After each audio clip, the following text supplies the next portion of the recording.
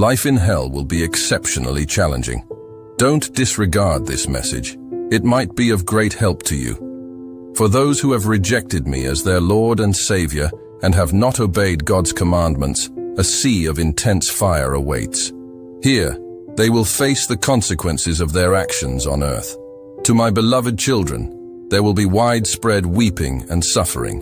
The intensity of the fire will only escalate, with no respite in sight. Out of love for you, I share this information and have registered your name in the Book of Life, ensuring your salvation. As Revelation 20:15 states, anyone whose name was not found written in the Book of Life was thrown into the lake of fire. The choice is yours. Hell is a real existence. I love you, my children.